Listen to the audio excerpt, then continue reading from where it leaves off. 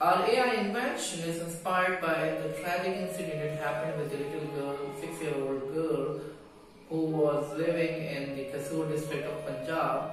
She was kidnapped, raped and brutally murdered. The autopsy of the little girl suggested that she was under captivation and torture before being murdered.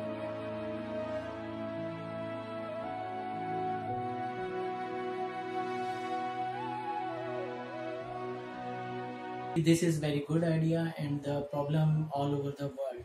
Uh, uh, this uh, application can create a difference. I would recommend dr Noman and the team to make it uh, live for the production and for the end users and public. We have developed a mobile app that records accelerometer data for outgoing kids mobile phone based on accelerometer data patterns are identified to determine if kidnapping be taking place. In case of kidnapping,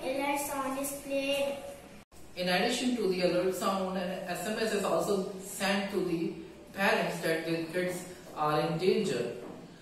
To record the data, we developed a mobile data collector application and we collect the data in different scenarios such as outgoing while we are climbing up these stairs at home, outside home. So in different scenarios we collected the data and then based on the data we developed a TensorFlow model in which we trained the model with an accuracy of up to 90% and then the model is imported into another mobile application that can analyze and predict if a child is in danger.